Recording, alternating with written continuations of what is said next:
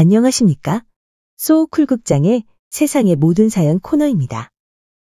오늘 이야기의 주제는 아내와 돼지 불고기 속에 들어있는 담배꽁초입니다.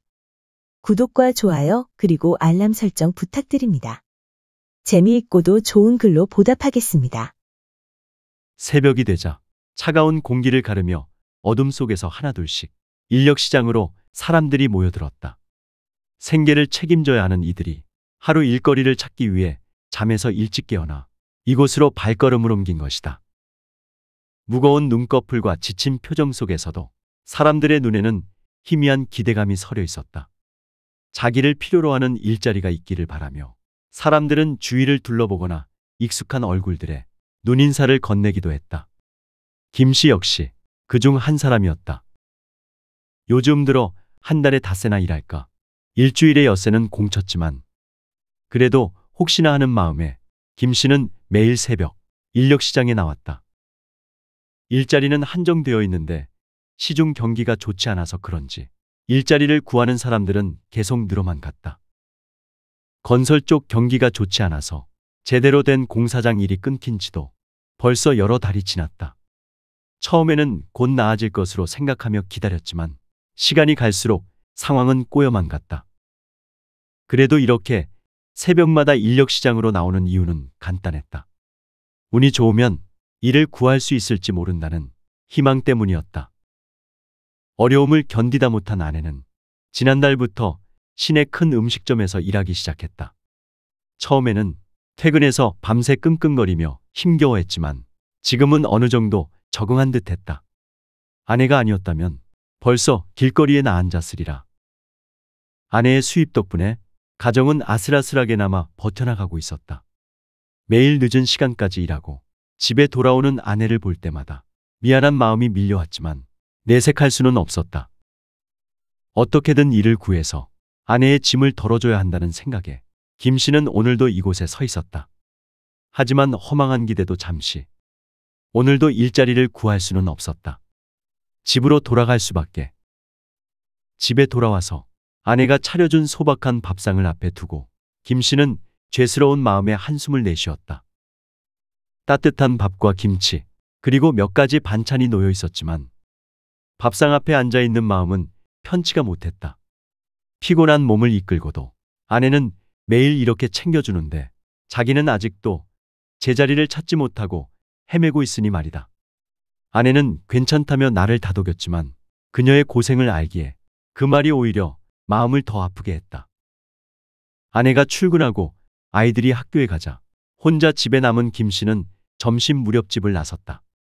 나가는데 주인집 여자를 마주칠까 싶어서 신경이 곤두섰다.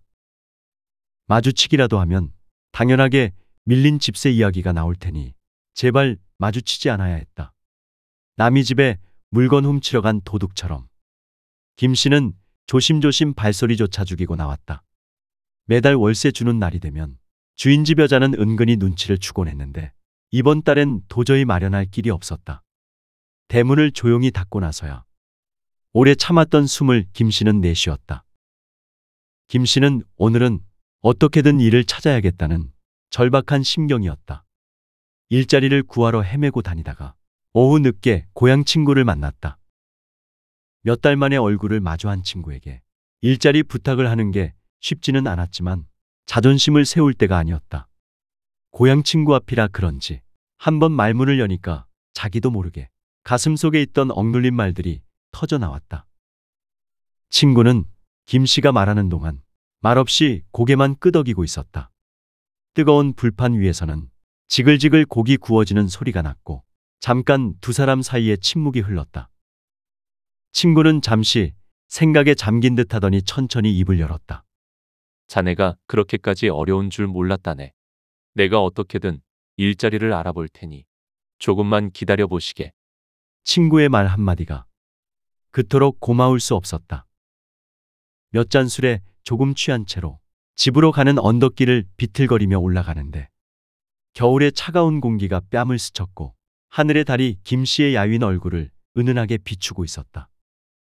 친구의 격려와 몇 잔 마신 술 기운에 가슴 한 구석이 따뜻해지는 듯 했지만 마음은 여전히 무거웠다. 집 앞에 다다르자 대문을 열고 나온 딸아이가 김 씨를 보며 환한 미소를 지었다. 그 작은 미소 하나가 세상의 모든 걱정을 잠시 잊게 해주었다. 아이의 맑은 얼굴에 김 씨는 자기도 모르게 어깨에 짊어진 짐이 조금은 가벼워지는 듯 했다. 처자식을 위해서라도 더 힘내야겠다는 다짐이 다시 마음속에 자리 잡았다.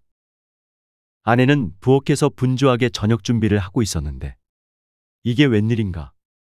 고소하고 달콤한 고기 냄새가 집안 곳곳에 퍼져 있었다. 오늘 무슨 좋은 일이 있나요? 웬 고기예요? 아내가 웃으며 말했다. 식구들 먹이라고 사장님이 고기를 좀 싸주셨어요. 남은 걸 그냥 버리기 아깝다면서요. 아내의 얼굴에는 피곤한 기색이 묻어났지만 그 속에 있는 다정함과 따뜻함이 느껴졌다. 사장님의 작은 호의 덕분에 우리 가족은 오랜만에 푸짐한 저녁을 먹게 되었다. 얼굴은 모르지만 고깃집 사장님의 배려에 마음 한구석이 뭉클해졌다. 아내도 아이들에게 돼지불고기를 먹일 수 있어 밥상을 차리며 기뻐하는 모습이었다. 애들이 고기 좋아하잖아요. 오랜만에 제대로 먹일 수 있어서 정말 다행이에요.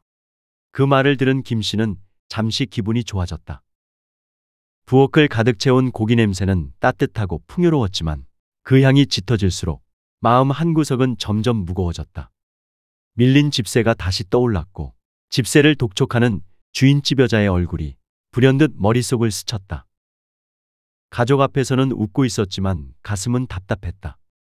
갑자기 1970년대 4월과 5월이라는 그룹이 불렀던 노래 중에 오늘도 젖은 집단 태우듯 또 하루를 보냈다. 라는 가사가 떠올랐다.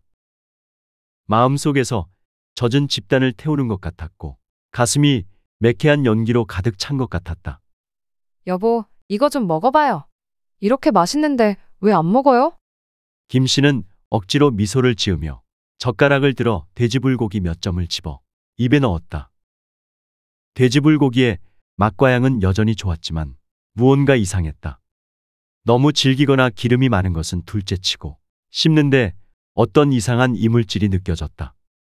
고기를 맛있게 먹는 모습을 아내가 보고 싶어 했기에 김 씨는 그 느낌을 무시하려고 노력했다. 하지만 그때 어떤 낯선 물체가 씹혔다. 순간적으로 멈칫했다. 그 물체를 뱉어내고 싶었지만 아내의 눈치가 보였다. 아내는 여전히 행복한 얼굴로 김 씨를 바라보고 있었다. 설마?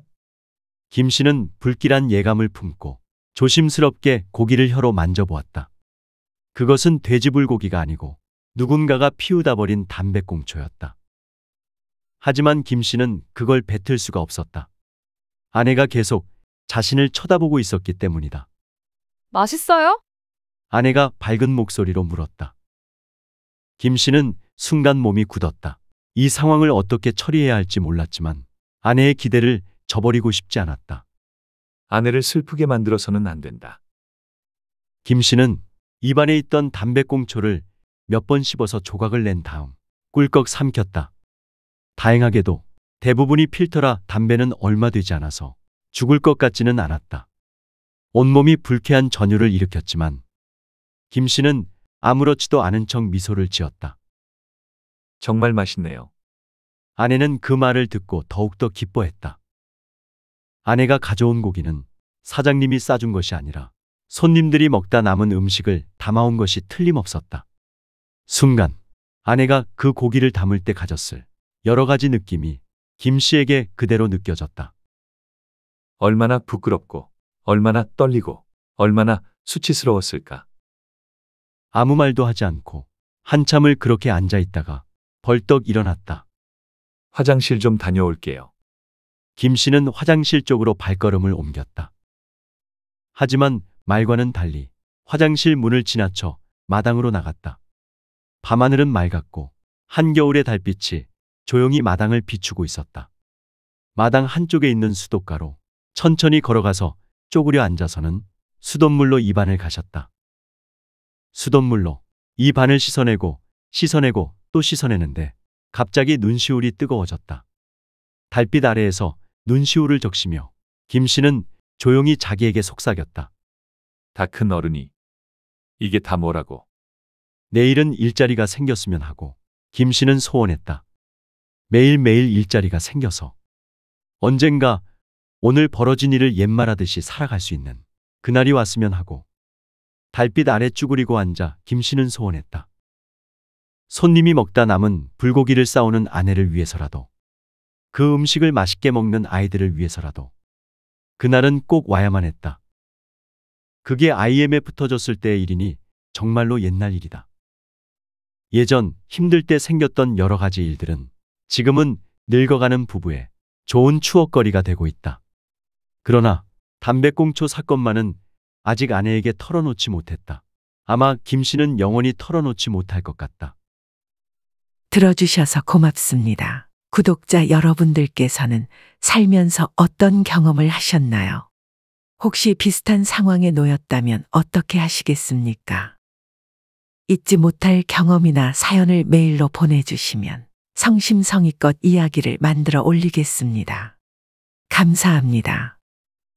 소우쿨 극장은 일주일에 두 번, 매주 화요일과 토요일, 오전 11시 전후에 이야기 올리는 것을 원칙으로 했습니다. 하지만 이번 주부터 가능하면 목요일에 세상의 모든 사연을 올리도록 노력하겠습니다. 반면에 쇼츠는 틈을 봐서 일주일에 3편 정도만 올리도록 노력하겠습니다. 고맙습니다. 다음에 만날 때까지 건강하시기를 기원합니다.